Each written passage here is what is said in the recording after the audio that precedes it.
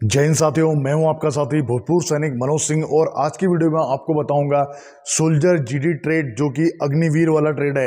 यानी कि अग्निवीर भर्ती प्रक्रिया के तहत आने वाला जो ट्रेड है, आज उस ट्रेड के बारे में आपको पूरी जानकारी दूँगा। साथ ही आफ्टर रिटायरमेंट बेनिफिट और इन सर्विस सर्विस पूरा आपका छुट्टी, सारी चीज़ पूरी डिटेल से बताऊँगा। वीडियो पूरा देखिए ताकि कहीं भी आपको कोई पार्ट्स मिस ना हो जाए।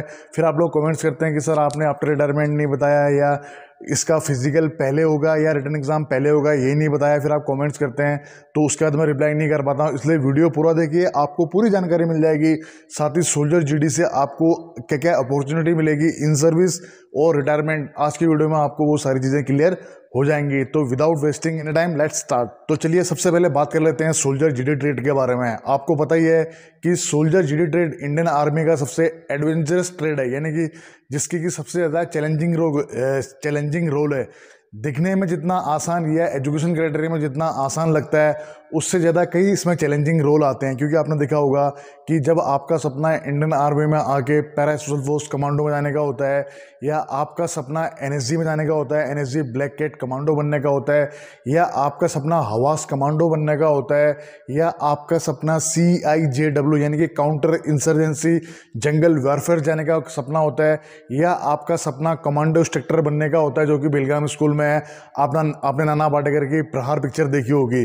तो अगर आपका सपना इंडियन आर्मी में एज ए कमांडो बनने का है तो सबसे जो बेहतर ट्रेड है कमांडो में जाने के लिए वो होता है आपका सोल्जर जीडी हाँ आप लोगों को मैंने पिछली वीडियो में बताया था कि आप सोल्जर टेक्निकल के थ्रू या soldier clerk S K through या आप ट्रेड्समैन के थ्रू भी आप एन में जा सकते हो पैरा में भी जा सकते हो। लेकिन अगर बात करें एक्टिव रोल की, यानी कि एक आपको टास्क मिला हुआ आपने देखा होगा कि जब ताज ताज पे जब अटैक हुआ था, तब हमारी एन की टीम गई थी, एयर दो हेलिक्स से कैसे वो ड्रॉप हुए थे, किस प्रकार उन्होंने वो ऑपरेशन को अंजाम दिया था तो उसमें बताना चाहूँगा, अगर अफसर की बात छोड़ दी जाए तो अधिकतर जो उसमें ट्रेड वाले बंदे होते हैं, वो सोल्जर जीडी ट्रेड के ही होते हैं। तो अपॉर्चुनिटी काफ़ी ज़्यादा है चैलेंजिंग रोग काफ़ी ज़्यादा है वैकेंसी इंडियन आर्मी में सारे ट्रेड में सबसे ज़्यादा आती है और सबसे बेहतरीन ट्रेड मैं बोल सकता हूँ, क्योंकि मुझे भी एडवेंचर पसंद है, जिसको अपना एडवेंचर पसंद है, उसका सोल्जर जी में मोस्ट वेलकम है। बाकी जिसको पढ़ाई डॉक्यूमेंटेशन का शौक है, वो soldier clerk S K D में आ सकता है, जिसको मशीनरी आईटी इनका शौक है, वो सोल्जर टेक्निकल में आ सकता है। बाकी जिसको शेफ का या स्टीवर्ड का शौक है, वो सोल्जर ट्रीटमेंट टेंथ पास में आता है। कल से आपको डेली एक दिन छोड़ के एक दिन या डेली आपको इंडियन आर्मी के ट्रेड के बारे में वीडियो बनाते रहूँगा तो बिल्कुल भी मिस मत कीजिएगा।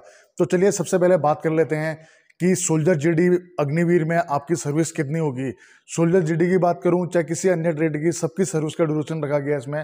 चार साल, जिसमें कि आपकी छः महीने की आपकी होगी ट्रेनिंग और बाकी जो बचा हुआ पीरियड्स होगा वो वो होगा आपका, आपकी यूनिट में, जहाँ पे भी आप पोस्टिंग जाएँगे। तो और आपको जो छुट्टी मिलेगी, वो मिलेगी आपको थर्टी डेज़ की एनुअल लीव यानी कि जो आपकी सालाना छुट्टी होगी, वो थर्टी डेज़ मिलेगी। और एक जो सिक लीव सिक लीव का मतलब क्या होता है? मान लिया जाए कि आप इंडियन आर्मी में रहते हो, कभी बीमार हो गए, या आपको चोट पटक लग गई, या कहीं किसी का फ्रैक्चर हो गया तो उस दौरान में क्या करते हैं? जैसे वो हॉस्पिटल में एडमिट रहता है, या थोड़ा बहुत ठीक होता है, या उसको रेस्ट की ज़रूरत होती है तो उसको सिक लीव भेज दिया जाता है। वो एज पर मेडिकल डॉक्टर के द्वारा भेजा जाता है। तो मैंने मैं शायद जहाँ तक सोचता हूँ कि वहाँ कोई बंदा ऐसी नौबत नहीं आना चाहेगा कि वो चार ईयर की सर्विस में भी वो सिकलीप जाना पसंद करेगा। कभी सिकलीप को लेकर भी आपको पूरी वीडियो बता, बनाऊँगा, जिससे कि आपको डाउट भी क्लियर हो जाएगा कि एनुअल लीव क्या होती है सिक लीव क्या होती है कैजुअल लीव क्या होती है, क्योंकि आप इंडियन आर्मी में जा रहे हैं तो आपको सारी चीज़ पता होनी चाहिए। और वो आपको दावे के साथ कहता सिर्फ़ इसी चैनल पर पता चलेगा आपको, क्योंकि हम फर्जी यूट्यूबर नहीं हैं, जो कि फौज के नाम से कई अकेडमियाँ चल रही हैं, जबकि वो फौज में कभी उन्होंने एक दिन की भी नौकरी नहीं करी। चलिए, उसके बारे में आप सब लोगों को पता ही है। अब ये हो गया, अब बात कर लेते हैं क्राइटेरिया की, यानी कि आप सोल्जर जीडी के लिए आपका क्राइटेरिया क्या होना चाहिए? इंडियन आर्मी की भांति सोल्जर जीडी के लिए जो एजुकेशन क्राइटेरिया रखा हुआ है, वो रखा हुआ है टेंथ पास विथ 45 परसेंट जिसमें कि आपकी मैथ और इंग्लिश होनी चाहिए और आपके ओवरऑल जो परसेंटेज है वो 45 परसेंट होनी चाहिए और किसी भी विषय में 33 परसेंट से कम, सुन लीजिए 33 परसेंट से कम किसी भी विषय में नहीं होनी चाहिए अदरवाइज़ आप सोल्जर जीडी आप अप्लाई नहीं कर सकते हो, फिर आपको सोल्जर ट्रेड्समैन के लिए ही अप्लाई करना पड़ेगा। तो ये हो गया आपका एजुकेशन का क्राइटेरिया अब एज की बात करें तो एज सोल्जर जीडी के लिए इंडियन आर्मी में जो है 17.5 टू 21 वही सेम इसमें भी है, लेकिन कोविड की वजह से इस साल छूट दी गई है, जो कि आपको दो साल की छूट दी गई है। तो इसमें जो भी एज का क्राइटेरिया रखा हुआ है seventeen point five to twenty three रखा गया है, जिसमें कि जो आपकी डेट ऑफ़ बर्थ है, वो होनी चाहिए आपकी अक्टूबर निन्यानबे से लेके एक अप्रैल 2005 के बीच में। इसमें आपकी डेट ऑफ़ बर्थ होनी चाहिए। फिर आप लोग कमेंट करते हो, सर, मेरा दो अप्रैल का छः अप्रैल का या इतने के बीच का है तो क्या मैं अप्लाई कर सकता हूँ? और नाइनटीन से नाइनटीन से लेके एक अप्रैल 2005 तक के जो बच्चे हुए हैं, वो अप्लाई कर सकते हैं। अब बात कर लेते हैं, आपका सबसे बड़ा डाउट सर, क्या इसमें रिटर्न एग्ज़ाम पहले होगा? मेरे भाई, बिल्कुल भी इसमें रिटर्न एग्ज़ाम पहले नहीं होगा। इसमें भी सेम फोर्स की तरह प्रक्रिया। पहले आपका फ़िज़िकल टेस्ट होगा, आपकी हाइट ना भी जाएगी, आपका डॉक्यूमेंटेशन होगा। आपका फिर फ़िज़िकल टेस्ट के अंदर में कई इवेंट होते हैं, जैसे बात करूँ, आपका रनिंग का सेम 1600 मीटर आपकी रनिंग होगी, जिसके कि 60 नंबर होंगे और 40 नंबर के होंगे आपके पुलअप्स अगर आप पाँच मिनट तीस सेकंड से पहले आ जाते हैं एक्सलेंट में तो आपको साठ नंबर पूरे मिलेंगे। अगर आप पाँच मिनट इकतीस सेकंड से लेके पाँच मिनट पैंतालीस सेकंड के बीच में आएँगे तो आप आएँगे सेकंड ग्रुप में, और मैं सेकंड ग्रुप में कभी नहीं चाहता हूँ कि आप लोग आएँ, जिनका सपना पैरासप में जाने का है। और उसके बाद में फिर होते हैं आपके पुलअप्स अगर आप 10 पुलअप्स लगाते हैं तो आपको 40 नंबर पूरे मिलेंगे। अगर आप 9 पुलअप्स लगाते हैं तो आपको 33 नंबर मिलेंगे। अगर आप 8 पुलअप्स लगाते हैं तो आपको 27 नंबर मिलेंगे। अगर आप सात पुलअप्स लगाते हैं तो 21 नंबर मिलेंगे। छः पुलअप लगाते हैं तो 16 नंबर मिलेंगे। छः पुलअप लगाने वाला तो अपने आपको भारी समझो। कोई मतलब नहीं है। खुद ही हम आपको सजेस्ट कर रहे हैं। उसके बाद में सिर्फ़ जो नंबर जुड़ते हैं, वो जुड़ते हैं आपके 1600 मीटर आपके रनिंग के। प्लस आपके पुलअप्स के। उसके बाद में फिर होता है आपका नाइन फीट डिच यानी कि आपको नौ फीट का एक गड्ढा कूदना पड़ता है। ये भर्ती होने से पहले ही नहीं, भर्ती होने के बाद में भी कूदना पड़ेगा आपको बीबीटी के इवेंट में। जल्द आप लोगों को एक बीबीटी आर्मी का इवेंट होता है बीपीटी बीपीटी इनको लेके भी एक एक वीडियो बनाऊँगा। आपको बीपीटी भी क्लियर हो जाएगी पीपीटी भी क्लियर हो जाएगी।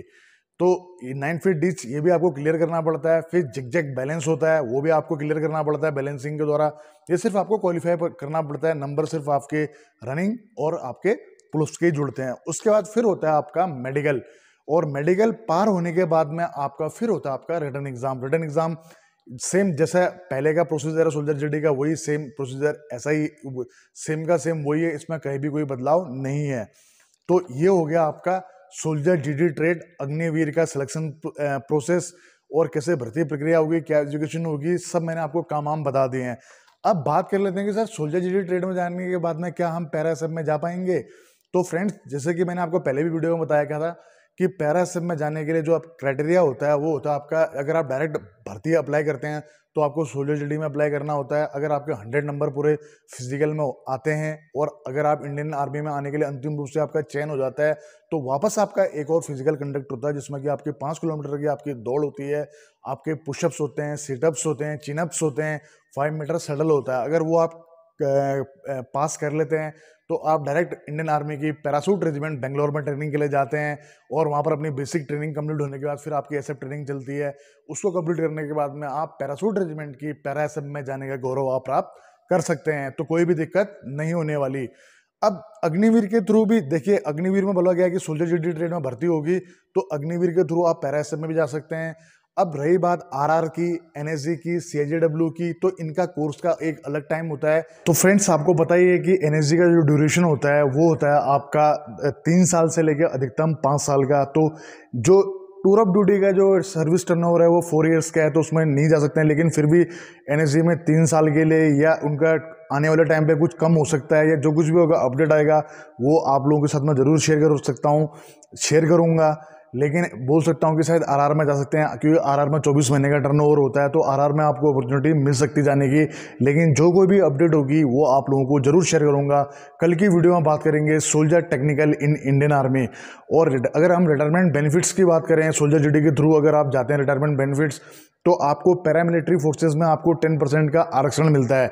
प्लस कई स्टेट गवर्नमेंट ने भी अपने यहाँ पर अग्निवीर वालों को बोला है कि हम इनको नौकरी में रिजर्वेशन देंगे या छूट देंगे, जो कुछ भी है।